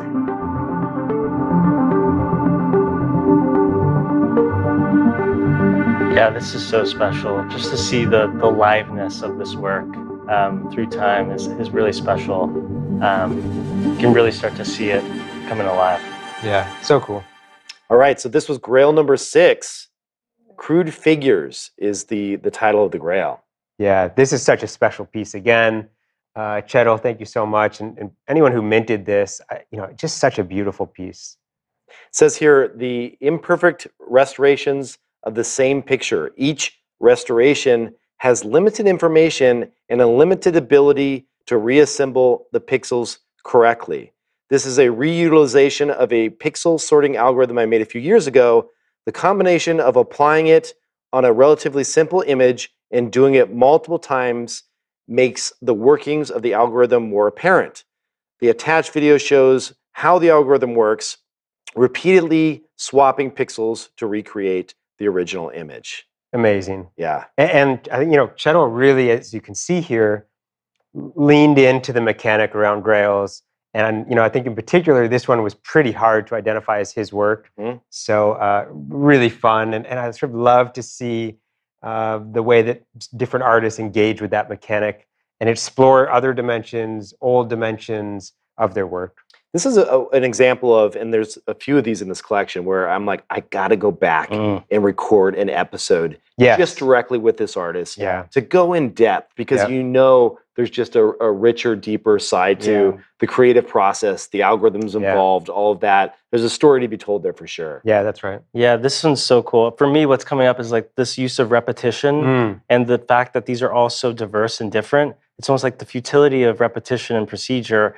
Uh, we can't control this. It's Mm. almost like no matter what, at the end of the day, these things are all unique and organic and different. And um, I just love that he's playing with that tension. Yeah, fantastic. Yeah. Uh, well, thank you for being part of it, and congrats to number six, uh, the mentors of number six. So that was Grail number six. Let's move on. Just a couple left. All right, Here we go. Coldie. Yeah, so Coldie is another sort of heavy hitter, uh, OG in the space, and really responsible for some of the, the early work and also some of the uh, best practices that have sort of become uh, what we know and how we interact with the space. So royalty uh, being being one in particular, and a, 10% secondary. That was something Coldie sort of really helped initiate for artists in the early days. Um, he's done almost $5 million in secondary sales on SuperRare. Uh, this piece that we're looking at now sold for 87 ETH. Uh, really uh, distinct work, and the mix of animation and collage and sort of leaning into crypto art. So fascinating. Yeah, there's this really funny uh, story. I was, you know, digging through old articles recently and just learning a little bit more about Coldie. And he is certainly a crypto art pioneer and also someone that really pioneered this 3D stereoscopic Mhm. work. Um, uh, there was a, a, a an interview that he was doing. I think it was with Artnome, and he was describing that he wished that everybody would carry around with them those like paper Mm. 3D glasses, so that the work he ma- made could be enjoyed in different Right. ways.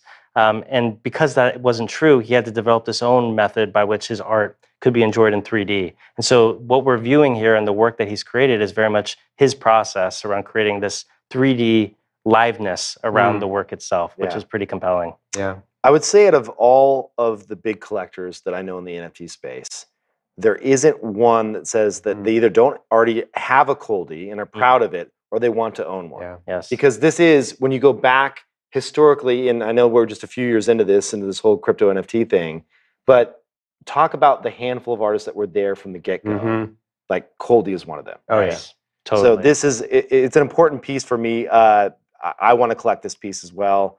Um, but before we get in there, he did a really fun Yeah, this is fun. remix with Moonbirds and some XCOPY, and I actually had to buy one of these and bought one from our company wallet as well, and did a giveaway Mm. uh, for for one of the, our lucky winners on the Discord. I love Uh, that. got a piece of this as well. So thank you, Coldie, for doing that. Uh, Coldie, Grail number four. Grail number four. Yes. So tell us a, little bit about this one here. Yeah, so this is really interesting. And uh, again, sort of the proof community were able to identify the concert this photograph was taken at, uh, the date, of course. Um, but I didn't hear many guesses that this was ultimately Coldie. Mm. Um, but uh, he's got a fascinating description of this work. Yeah, so this one was taken at a Tame Impala slash Flaming Lips Halloween concert in 2013. So qu- quite the crowd there. Uh, the description is the night was the most wild concert I photographed from an audience perspective for sure. Being from Australia, Tame Impala were unaware of the USA's Halloween tradition and were good sports and dressed up in drag as the Spice Girls. The Flaming Lips reenacted the blood drenching scene from Carrie, truly odd. I love it.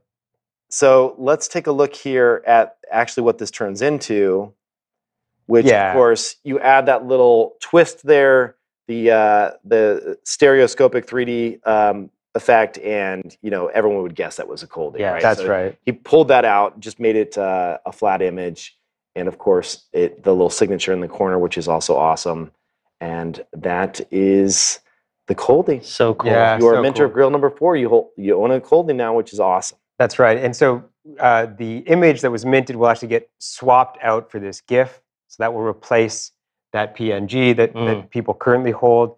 And they'll also get access to be able to unlock that 3D version of this work. Oh, fantastic! Yeah, I just have to say, you guys totally crushed it in terms of um, taking it a step further with Grails too. I, something that's just been, as we've gone through this today, that's been apparent to me is what you see is no longer necessarily what you're getting. Mhm. Like there is this playfulness and this um, this experience that can happen after the mint. And so in future Grails, I think people are now going to be attuned to the fact that you know there is some depth to what's happening here around these mints, and to not be so fooled or um, assume that what you're seeing originally is what you're getting. Yeah. Well, we have so many other. We've talked about Yeah. some I can't wait stuff coming can't up. wait to see the it. future Grails. It's Yeah. going to get even It's wilder pretty in the future. Yeah. All right. So we are down to that final Grail. And as you all can imagine, everyone knows at this point, it is Grail number 14, which was minted how many times? Uh, 50 times. 50. And I love that it's a clean 50. A 50. clean 50. Clean 50. So who could this be? Let's uh, roll a little video. Hey friends, uh, Eric, aka Snowfro here. Uh, thank you for minting my Grail number 14. Uh, I wanted to show you guys something um, pretty cool. So, my family uh, moved into a house last year that had a shop in it. And in that shop was a kiln. And ceramics are something that I've always been pretty excited about. Uh, I just never really had the time to get into it. Um, and so, first thing I did is buy some clay and started making some pots, and I found it to be incredibly relaxing. And um, yeah, so I created this piece by using these two pots. Um, you can kind of see a stamp at the bottom there, Snowfro, like my friend Tom Sachs recommended who's also big into ceramics. Uh, and yeah, the, the idea here was that I, I put these pots on top of a generative algorithm, a generative algorithm that I created in 2018 for releasing Artblocks. Um, but I just felt that that algorithm, in and of itself, just by itself, just wasn't impactful enough to be released as its own release. And so I have this algorithm that generates those background colors, And I really liked the way that the ceramics looked on top of there, especially because I thought the colors vibed pretty well. Um, and something that inspired me to create a series or to start exploring creating a series where my goal down the road is to make you know a hundred of these different sizes and colors and have an algorithm kind of select them at random and place them on top of a randomly generated uh, background like the one that you see there. So this one that you that you see uh, with grails i uh, manually added a drop shadow to the piece because there was no it was just a top down photo of the piece taken and um, i'm hoping to do it all algorithmically in the future anyways thank you uh, for minting grail number 14 for those that did and thank you, uh, Kevin and Eli, for letting me participate in this awesome uh, experiment. Oh, so cool. Woohoo! Unreal. yeah. So this is important for a handful of reasons. I mean, obviously, it's Snowfro who is the creator of the Chromie Squiggle, uh, the very Genesis drop for art blocks, and this is his very next piece after doing the Chromie Squiggle, uh, Grail number fourteen. There is so much that I love about this work. Uh, let me just say, you know, for you guys to have been able to work with Snow and to be able to get him to launch a Grail uh, is tremendous on your part because he is so deliberate about the work that he creates. He is very much of the belief. Um, I mean, he is very deep in his own creative journey and his own creative process. And for him to trust you guys on the platform and to be able to launch one of these sacred grails says a lot about the, the platform that you've built here. The next thing I'll say is um, I am just a massive fan of his use of color. Mm. The script that he wrote, uh, that he he wrote, and uh, that we see beneath uh, the ceramic itself, it's it's so Snowfro. It's so much playing with this this, this idea of gradients and color uh, and palette. Uh, he's just a very colorful person. He injects it through all of his work. Mhm. And for this also to have been a piece that he was considering launching art blocks with, in addition to the Chromie Squiggle, says a lot about him coming full circle in his journey, but also looking out to the future. I mean, it's hard not to see the fact that we have this physical bowl Hmm. on top of this generative piece, and the pairing of which that may illuminate some of where art blocks may go in the future, or where may he, he may go as an artist and a Yeah. creative. And so this is such a, an important piece for a variety of reasons. Ca- Over the moon, excited about this one. You're going to go collect this. Hundred percent, Yeah. unquestionably. Yep. So, wh- what do you think about this idea that he has here around physicals Mm. with generative? Like you, you said, it, it may allude to like where this goes. Yeah. Where do you think this goes? Yeah, so it's it's hard not to look at generative art and see its core principles of of this idea of injecting randomness and procedure and rules into some final output, um, and not think that there's a use case or a, a massive application set for those primitives in the real world. Mm. And that can take the form of ceramics. It could take the form of cera- uh, architecture. It could take the form of of wood making. It could take the form of virtually anything that has requires inputs and uh, you know creates some output. You know, today it's much more easier to manufacture thousands of one thing. In the future, as we inject these randomness and this Mm. procedure into things, it's not a stretch to see art blocks or you know the randomness and procedure that drives a lot of the algorithmic art that we see today being used for other cases that are off chain. And so marrying the on chain and the off chain to me is just the next evolution of this technology. And Snow is playing with this idea by injecting randomness and procedure in his ceramic work with the algorithmic work that he's done in the past. And so if you view Squiggle like I do as an instructional piece Mm. that allowed generative artists to see what was possible with crypto based on chain generative art, it's you can also make the same, you know, you know, uh, you can look at this ceramic piece here Mm. and see like maybe this is his instructional piece about where he's going as an artist Mm. or where art blocks is going or where the industry is going Right. Yeah. so very important piece here Yeah, so that's really, I mean, you guys are really tight. Yeah. And what's interesting about this is, is you're kind of saying, in essence, that stay tuned. This could be a little preview into the future. i can't i'm not one to predict the future but what i will say is eric snowfro is very excited about the world of possibilities when you start taking this on-chain behavior and applying it to some of the off-chain stuff that we all love and enjoy Yeah, so we all got really pumped up and excited to go to Mexico City because that's going to be his next generative piece. yes Is going to be there. We got a little early taste here. yes yes very excited that uh, that he was able to do this work with you guys Yeah. very special piece this is awesome. Well, here's a little thing that you may not know at this Mm. actually, but he actually turned me down for Grails One. Oh, man. Yeah, so I, I came after him and approached him for the first Grails. I didn't know that. He was like, Hmm. he's like, no, not not, not doing anything. Like you, you, to your point, he's very deliberate about the stuff. He thinks through it, and um, you know, the first Grails went went great, and then he was like, okay, I'm in. So Oh, that's so awesome uh, to hear. It's pretty awesome. Yeah, this is a, a great one to end with. yeah, this is big. Yeah, congrats to anyone that minted Grail number 14. I am 100% uh, picking this one up. Please uh, be gentle on me on the floor prices out there. Uh, I, I am considering trading squiggles for this for those who are interested. uh, Amazing. But also Yeah. may just have to hit the secondary market. Yeah. yeah, it's awesome. And and once he's in, he was all in. Oh, was, he's- like super collaborative and like He, he's so great, right? And you guys both know this. Uh, very collaborative, texting, emailing, really engaged with the whole process. Uh, you know, really thrilled and and so grateful to Eric for his contribution. This is yeah, this is such an important piece. I think Yeah. outside looking in, we all see his genius Mhm. and what he's been able to do, both with Chromie Squiggle and the way it's resonated. Artblocks the platform and its massive success. But I think what people don't also realize is he's not just you know this brilliant mind. He's also one of the kindest Right. people in this space. Uh, Eric is someone that must be protected at all costs. We have to protect the guy, and so uh, yeah, we he's he's he's amazing, amazingly special and super kind. yeah, awesome. Well, thank you so much for for co-hosting this with me, you guys. Yeah, that was great. this has been awesome. Well, There's uh, we, we Thank should you. say yeah, that was awesome, Derek. we should say that there is um, there's more of these to come. That's right. We're going to be continuing and actually now uh, putting Eli even under more pressure. That's right. on future Grails. Yeah. Um, so we'll have more announcements around that at the Future Proof, That's right. around the, the cadence and some other applications for where we could take this whole idea of guessing what's behind the mint.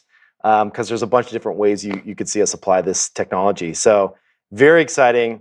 Uh, great way to end. Yeah. And uh, congrats to everyone out there that minted. Thank you for playing this uh, game along with us and for paying attention to the art. Like Yeah, we're actually looking. right. Like the cool thing about this is it forces people to go in and consider the art and That's right. talk about the artists. And even the ones that aren't in this. Yeah. I, oh, I thought that was an XCOPY, or I thought this was that. Like there's been probably more artists mentioned and into the conversation as just the, the nature Yeah. of doing this. And so it gets people paying attention to other artists and actually gives us some ideas for who we might want Sure. to do in the future, Yeah. right? So it's just a really fun process. And uh, I'm excited we're going to be doing more of these in the future. Yeah, 100%. All right. Well, that is it for now. Thank you for joining us for this live stream and uh, hope you uh, chose wisely. We'll see you again here soon.